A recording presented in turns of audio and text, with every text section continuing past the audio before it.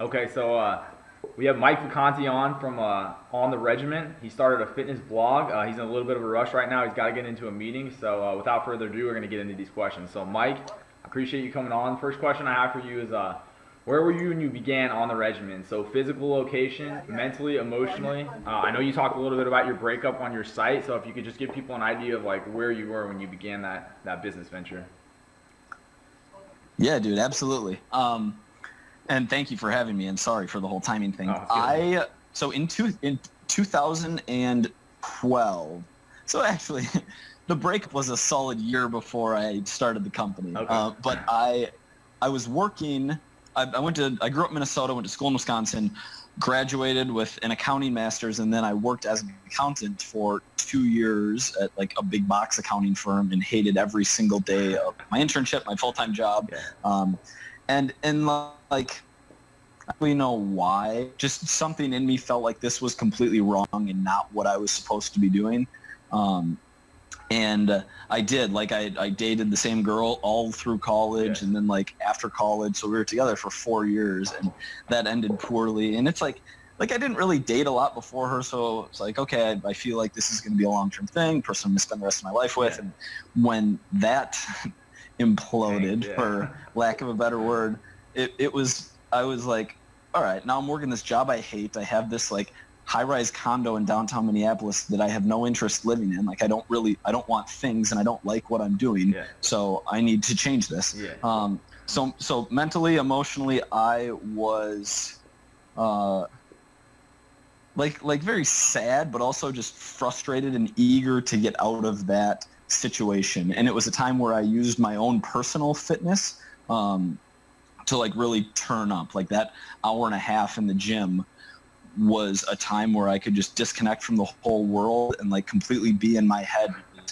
Like fitness was a practice for me and it was uh, something huge in getting me through. Yeah. Yeah, that makes sense. So you can really something to focus on to start moving your life out of that situation. That makes a lot of sense, man. Yeah. Um, Yeah, yeah. so that- and so I I guess to like to, to wrap up the question, I I then quit my job, um, knowing that guys and girls run online coaching programs and like create fitness content and write and have people that follow them Yeah. and then are literally personal trainers online and help other people. And six months before quitting my job was kind of the first time I really saw that this is like a real thing. Yeah. Like people are paying for this service. Yeah. I was like, oh, this is amazing. And I had been in fitness, like growing up, played hockey through college, just Okay, so that's, the that's kind of vanity what I of to get at. lifting Then you didn't like- really have like a whole huge Yeah. base in any any internet marketing or web design or like you didn't really have a base in any of that. bro. I, I literally had less than a, ba- a base in in all of that. Yeah. I yeah, I didn't know anything. Okay, okay, that's good because that that's really helpful for a lot of people who think it's some like magic way that people start a site. Okay, so then the next one is your initial game plan for the business. So did you have any idea? It sounds like you're just going like fly by wire, but do you have any idea who your customers would be? Uh, where you're going to get customers from? A big thing for people is like you know guest posting, iTunes, um, Facebook ads. Did you have any idea about any of that? No, I didn't. I didn't have like looking back now, and now I'm. I, I train Gary Vaynerchuk, who's a, a big time marketing guy and, and successful businessman. So seeing his, um, like how he interacts with his clients and the way he runs his businesses, it's it's like very clear to me now that so much is going on. At that time, I literally had no idea. I, I probably couldn't have told you what internet marketing was. Like was like I would have told like, you I was talking, like, annoyed by the 13 or Um, no, this was this was 2012, so three, like slightly over three years ago. okay.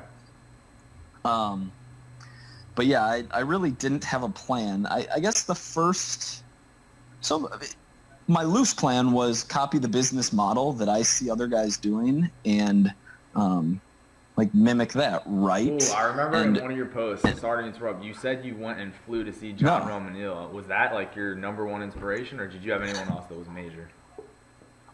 Um, he was the like the biggest inspiration for it. Him and there were some of the other sites I was reading. JC Deen, JCD Fitness, um, is the other one that comes to mind during time.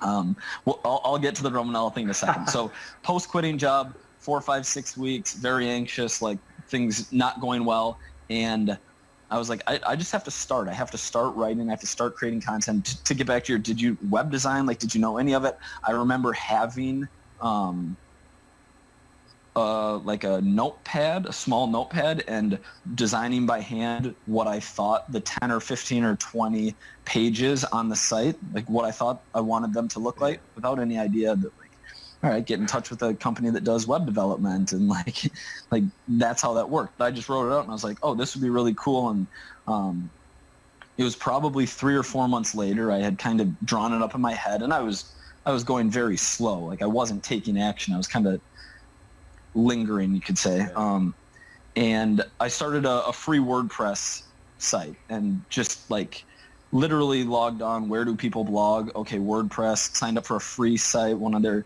custom templates, and started typing up blog posts. Kept it private for probably the the first two or three months until I had six or seven posts on there.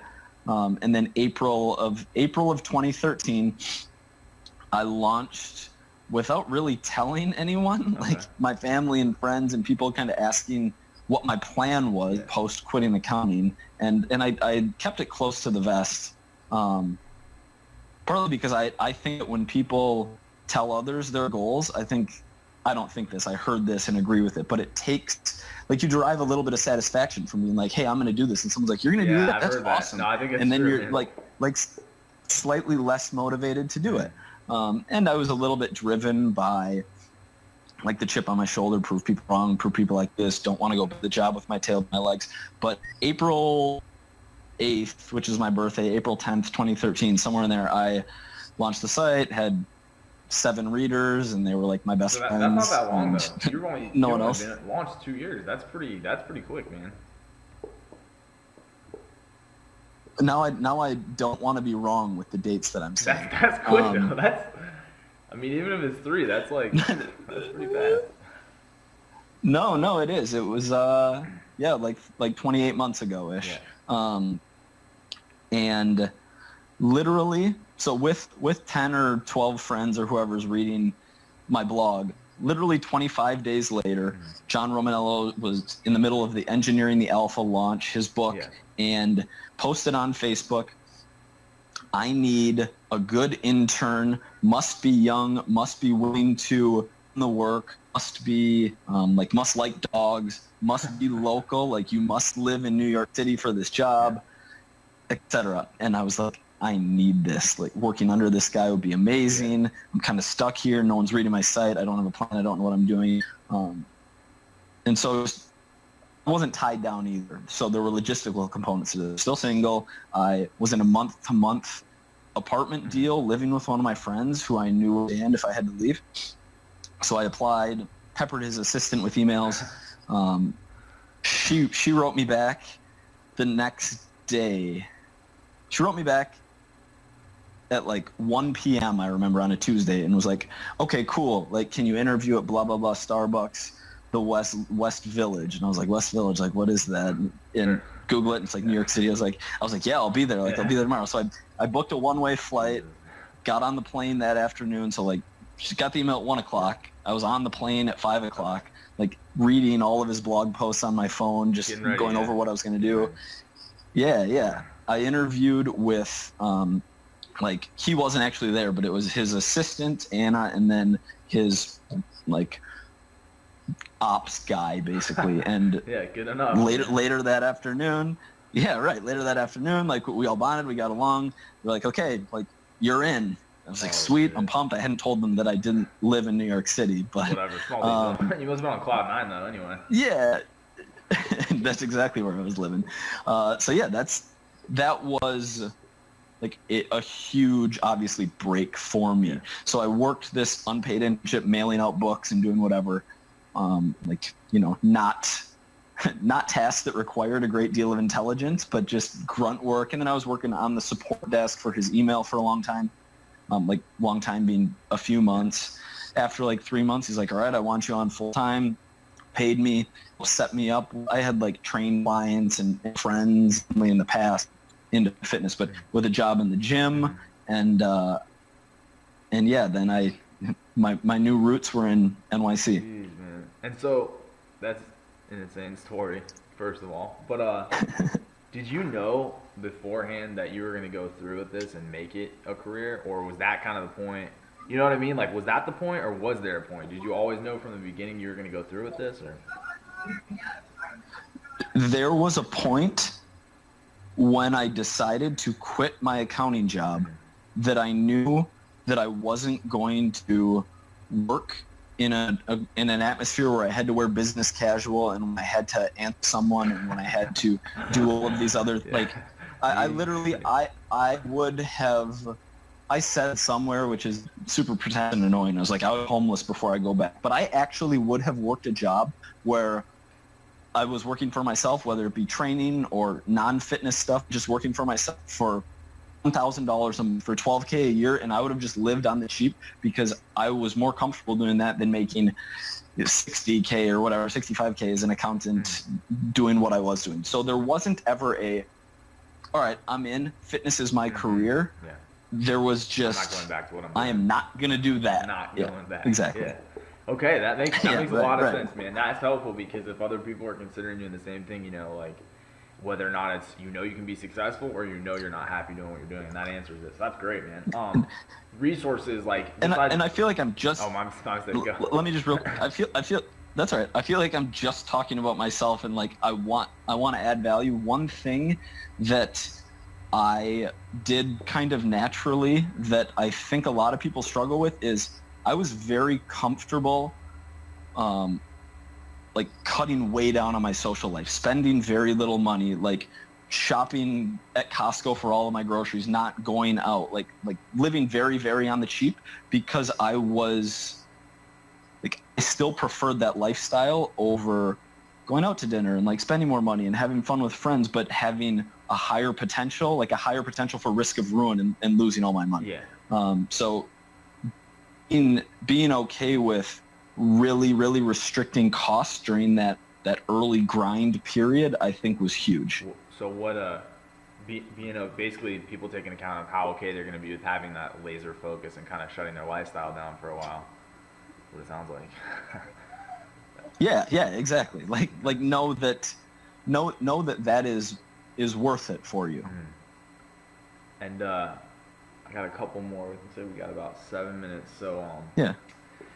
I guess I'm gonna skip down a little bit. So the biggest takeaway from your experience so far. So you, you did that. You worked with John Romaniello. Uh, you you interned. You started up your blog. You've been working on it. Now you're having a pretty good amount of success here. About 28 months later. What what uh what would you say to someone else that's looking at doing the same thing? Like what can they avoid following your footsteps?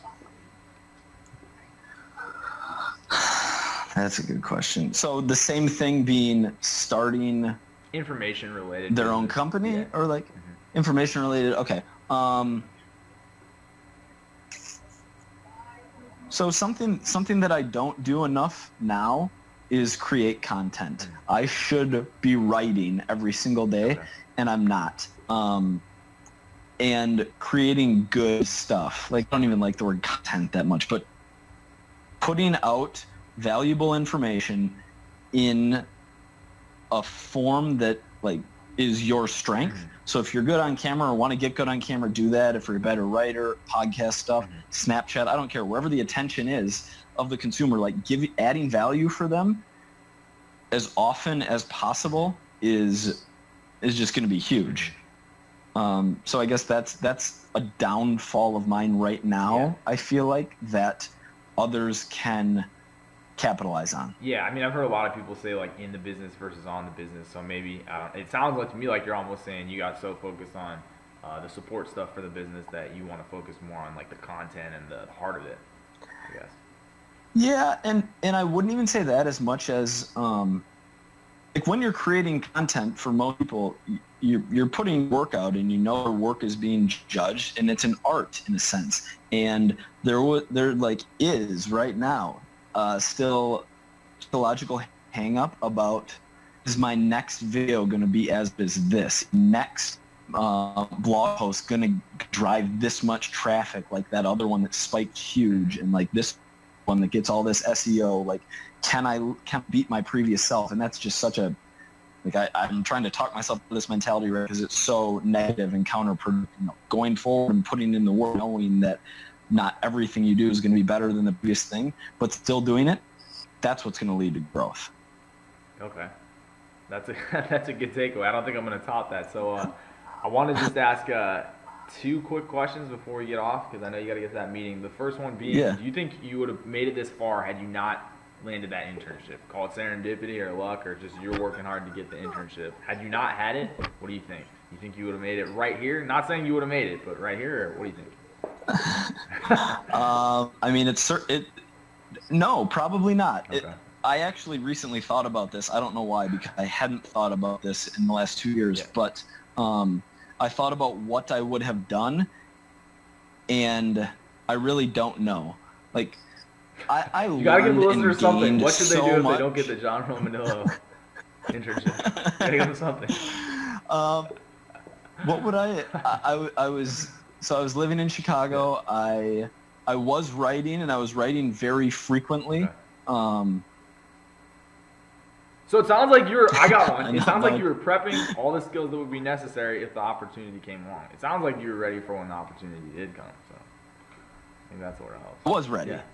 Thank Be you. for ready. So be like Mike and I can't straight. be ready. Um, the last one I have for you is uh, what are your offerings right now in terms of courses, products, packages? Uh, what can people do to to get on your plan? So I, and for people who want advice from me, like how to put those together, I'm just ever like I'm even a good businessman or internet marketer. I, so I literally only offer online coaching. Okay. Um, and and I am taking on clients, but like I do one-on-one coaching, which is primarily email based with people all over the world. I also have Gary, who's my one in-person client, who I travel around with and work him out every day. Okay. So right now your biggest offering is the online coaching, and you're you're taking clients. You're open for business, basically. Yep, yep, And absolutely. is there any other place people can find you besides ontheregimen.com, or is there anywhere else they should look for you? um, Instagram for the for the occasional shirtless selfies at Mike Vacanti. Okay. Instagram If- at if Mike that's your thing. And then uh, and then on the regimen is where I guess you'll send most of the people. But uh, uh, Yes. Yeah. So we got The the website is the the valuable information. The Instagram is just my ego, like attention in a little bit. yeah, you got to do it, especially with a fitness-based business. Man. But uh, I really appreciate you taking the time. Hopefully, I can get you on and get a more detailed story. I feel like the story could have gone on for like an hour or two, but uh, I appreciate the time, and, and you guys can look for it at uh, everythingweknowsofar.com slash Mike Vacanti. So take care, Mike.